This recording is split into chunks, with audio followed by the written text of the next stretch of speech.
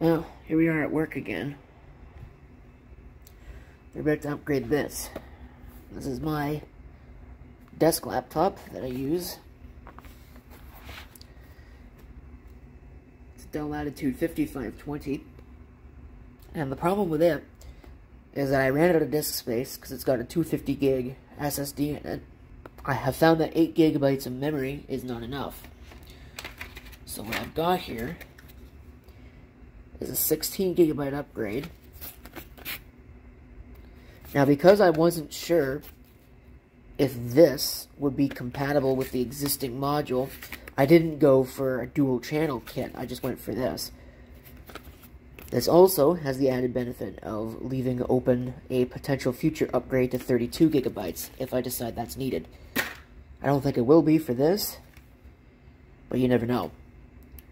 I also have this 1 terabyte SSD, which I've already cloned the OS over to. Now, I am suspecting I'm going to run into a problem there because this apparently has BitLocker enabled, and I did not know that until now, so that might be a problem, but I guess we'll find out together.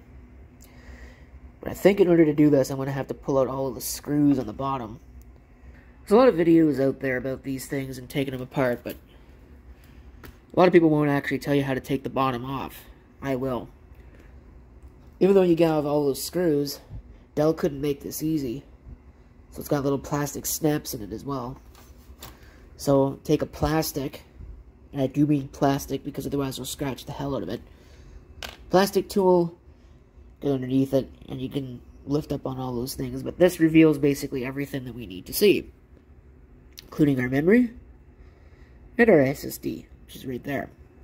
Okay, so I've installed the new SSD, and what I've done is I've used the screw there because this does support two of them and I've put this little plastic bit here back because obviously the original SSD was small. I don't want to lose this if I ever want to put that back or I want to use another one that's smaller, etc., etc. I've also installed the memory. Before I go any further, I'm going to flip this right side up, power it up, make sure that it actually works. Wow, look at how dirty that is. But our test here is twofold. Number one, does it power on? And number two doesn't boot.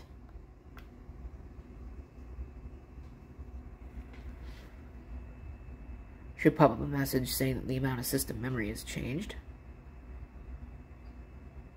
If this works. That's taken it an awful long time. Wonder what that's all about. Wonder if it's unhappy about running without its bottom cover.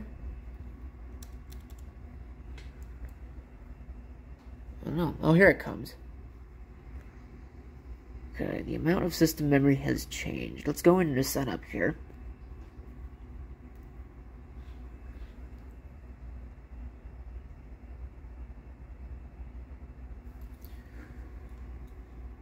And I'm going to check this and just make sure that everything is okay.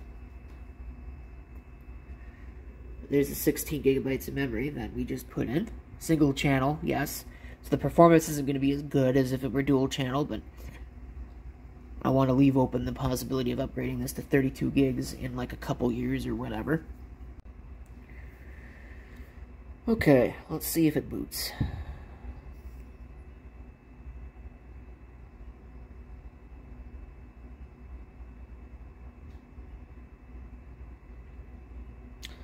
That's not very promising.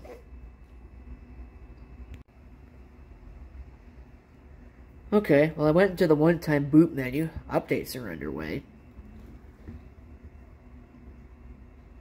When I went into the one-time boot menu and selected the new SSD, apparently I needed to change the boot order.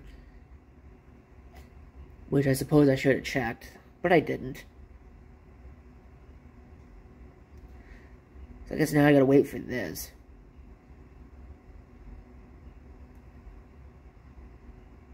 But it looks like it's working, so I can probably put the back cover back on this and call it good. One other thing that's maybe worth mentioning. These screws seem to be captive. Or at the very least, I couldn't get them out of the actual plate on the bottom here. So, there it is back in place. And I think with that, it's pretty much it. Successful upgrade.